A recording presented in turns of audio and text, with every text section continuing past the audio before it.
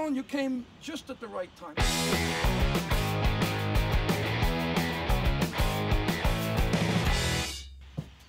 Hey Vic, what's going on? Uh, I thought you were in Florida. no, Alan, I told you I got back from Florida. I got back two days ago from Florida. I don't understand. Karen told me that uh, she spoke to Lucy and uh, she was supposed to come check on Eddie.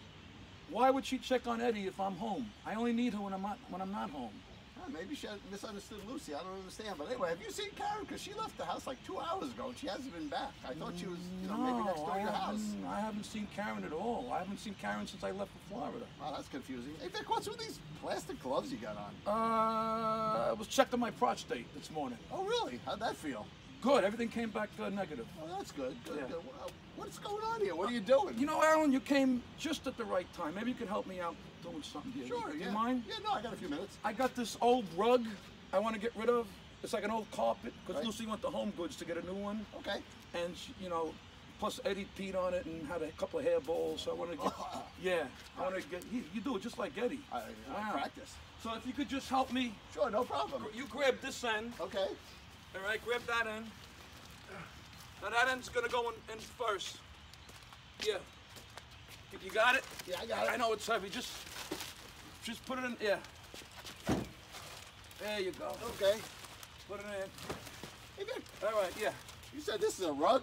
It's a, a carpet. Yeah. Carpet? Wow, that's a funny looking carpet. Well, it's one of those custom-made carpets that forms around the furniture, and it's got all the curves and the.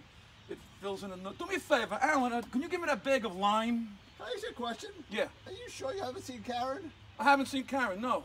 Okay, I'm just wondering. Just get that bag of lime for me. Sure, no problem, Vic. Oh, God. Yeah.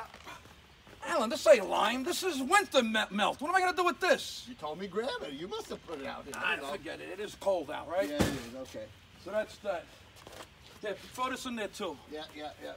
You it yeah, yeah. It, it doesn't look like this door's going to close here with, the, with whatever this is, you know, out of the door here. You want me to... Well, no, maybe I'll open the window and put the head, I mean, this end of the carpet out the window. Oh, yeah, that- And I'll tie a red flag to it. Uh, That might be a good idea. You wouldn't want anybody crashing into you from behind. but I don't think it's gonna. You know what? Uh, yeah, well, maybe if, if you go in there and, Right. and fix that end of the carpet, put, wedge it between the, the two seats. Sure, I got you. No problem, Vic. This way it'll fit. I don't want to have to. Okay. How am I doing? Oh, yeah, that's just like that. That's perfect. All right. All good.